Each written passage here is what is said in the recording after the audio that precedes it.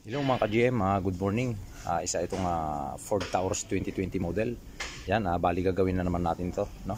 Ang gagawin natin dito, bali papalitan natin ng ah, bag cover gasket saka yung kanyang ah, crankshaft oil seal sa ilalim. Yan, papakita ko sa inyo mga ka-GM. So, ayan po siya, no? Ito yung ating ah, Ford Taurus. Bali, ang gagawin muna natin dito, ah, tatanggalin natin yung kanyang ah, belt dito, easy belt, saka yung kanyang ah, drive belt, no? Mayroon namang tensioner yan mga ka-GM para matanggal natin yung kanyang ah, drive belt. Tapos, kung mapapansin nyo mga ka-GM, yan, oh, tignan nyo, puro langis na dyan kasi leaking talaga yung kanyang oil seal, sira na yung kanyang oil seal dito sa crankshaft oil seal, kaya kailangan natin palitan. Tapos, pag bago natin tanggalin ito mga ka-GM, ah, sinatings lang natin.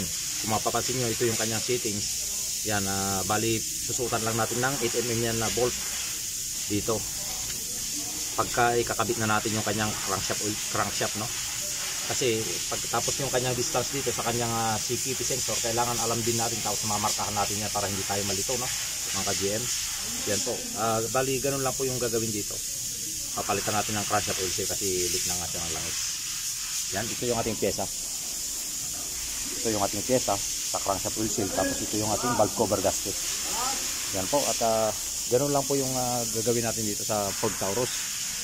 Ah, 2020 model. Yan. Ah, maraming maraming salamat po.